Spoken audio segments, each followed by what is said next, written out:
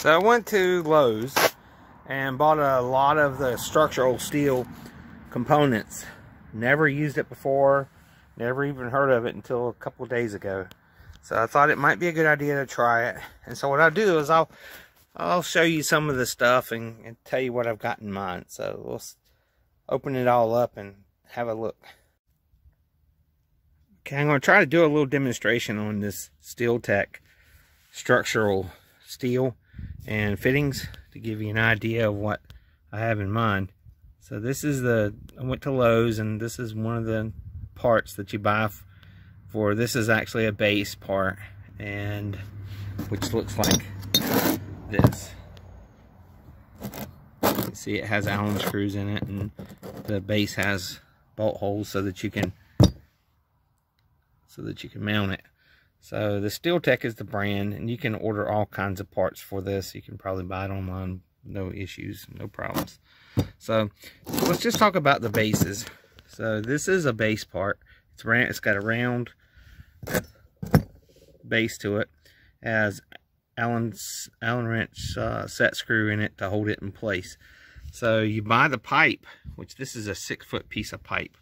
And so this particular base would go on like that and then you'd tighten a set screw um, to hold it in place. Uh, it's loose so it's not the greatest thing in the world but what I'm planning on is once I get everything put together and since it's modular I can adjust things and and you know make changes. But once I get everything together and I really like how it's put together I'll I'll weld a, around this seam here and uh, make it really strong. Okay here's another base that's pretty cool. And it's a hinge type base. And what it allows you to what it allows is for you to mount it just like you normally would. Okay? And so when it's on it would allow you to have a hinge so that if you want something to move up and down. And so what I'm thinking about doing this is for our console type storage compartment. Have it mounted in the back and then this this part would go forward and then it would hinge up based on this being mounted in the rear and then have um, sheet metal uh, screwed into or bolted to or riveted into this part here so that it can actually lift up. And this is the other base that I've already showed you. And this base here has two set screws. It's a little taller in this area right here so it'll be a little stronger than than than this one would be okay? So there's other components that you can use like this is this is a T-joint here and it would allow you to connect two different pipes if you'd like to or, or have one come in on the bottom and even even three different pipes because you could have a pipe here and then end it in and another one right here and then have this one here.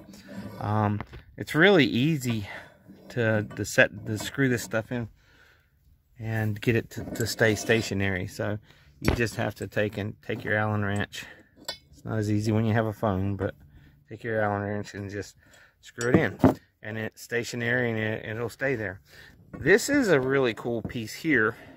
And what it does is what I'm thinking about doing is having a hinged panel.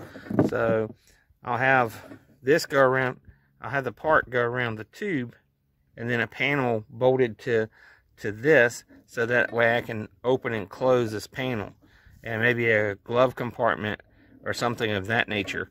Um, it too screws in and will stay stationary if, if you if you tighten it down. So this stuff is pretty cool. They make all kinds of different joints for it. They make one that has four joints and then and so it has this this direction and this direction and front and rear. So you can actually connect a lot of different pipes together for that. A lot of people are using this stuff for furniture and, and you know, etc. Some industrial look type um, decorations and shelving and etc.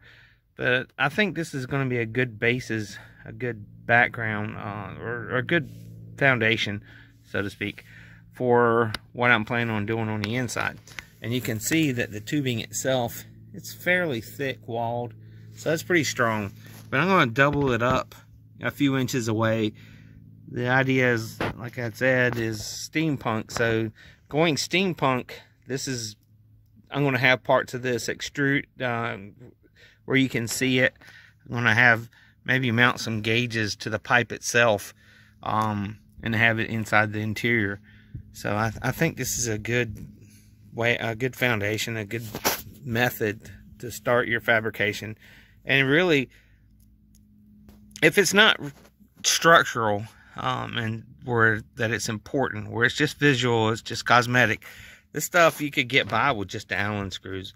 I'm planning on using it um, for a little bit. I'm probably going to be mounting the steering column with it with some additional bracing, but I will have this all tied together and have it so that I can mount some sheet metal to it and, and just have it still visible is the plan. So it's it, the plan is going to evolve as as I figure it out. That's for sure. So I'm hoping that it's going to work out okay. But this this Steel-Tek it's some pretty cool stuff.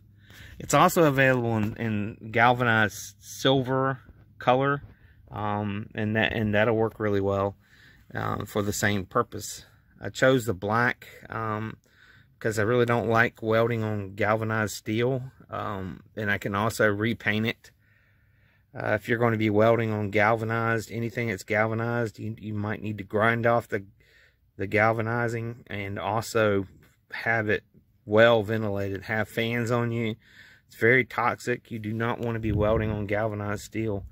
And this may be galvanized under the painting. I, I don't know yet, but uh, I'm going to be careful with it. And, and I suggest you do the same if you're planning on doing any welding on this stuff. You can tell that a lot of the parts are cast. You know, that's these are cast parts. The steel is cold rolled steel, so it's pretty strong. And uh, I think it's going to work pretty well we'll see how it goes.